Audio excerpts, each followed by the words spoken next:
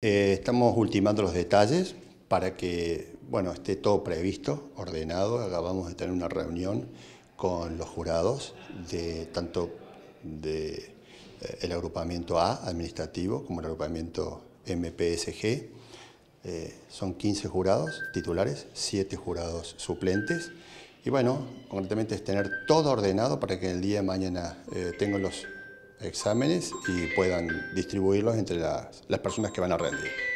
¿A qué hora comenzará y a qué hora está previsto que concluya toda la, la actividad de, de, los concursos en el día de mañana? Bueno, concretamente son dos agrupamientos. El MPSG es el que mañana rinde primero.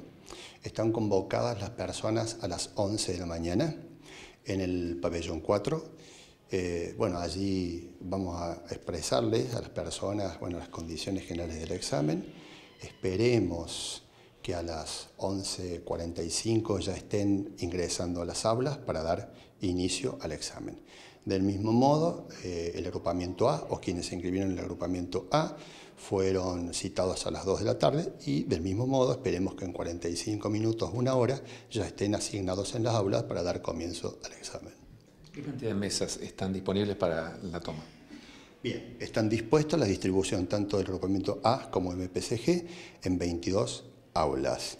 Estas aulas están preferentemente ubicadas en el pabellón 4, eh, con la excepción para el agrupamiento A, eh, que tres aulas, anfiteatro 1 y 2 y el aula mayor eh, del pabellón 2 también va a haber gente rindiendo. Pero bueno, estar concentrado en el pabellón 4. Eh, ha sido eh, mucho el trabajo de distintas áreas de la universidad, hay mucha expectativa por esta instancia de concurso. Sí, la verdad es que ha sido un gran esfuerzo. A medida que se va acercando el tiempo, uno va advirtiendo la necesidad de dar cobertura a, ciertos aspectos. Eh, un gran apoyo del gremio no docente, por supuesto, pero todas las áreas, todas las secretarías, pero bueno, particularmente Secretaría General, muy abocada a que esto mañana salga bien, como debe salir concretamente, tengamos en cuenta de que son 3.500 personas que tienen una expectativa de un lugar de trabajo en la universidad, lo cual habla en definitiva de una decisión laboral, pero también una decisión de vida, y nosotros estamos tratando de acompañar estas expectativas.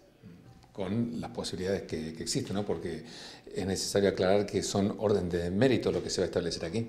Sí, y la pregunta es muy pertinente porque eh, puede alguien pensar de que ya hay un número de vacantes y que una serie de personas ya tienen asegurado su ingreso. En realidad no es así, sino que se conforma el orden de mérito en base al resultado de la prueba del examen deben superar un corte de 65 puntos y aquellos que superan ese porcentaje, bueno, se analizan sus antecedentes con ese este, universo de personas se elabora el orden de mérito. Y, por supuesto, a medida que se van generando las vacantes, tanto el agrupamiento A como el agrupamiento MPCG, es que se van llamando las personas que integran el orden de mérito.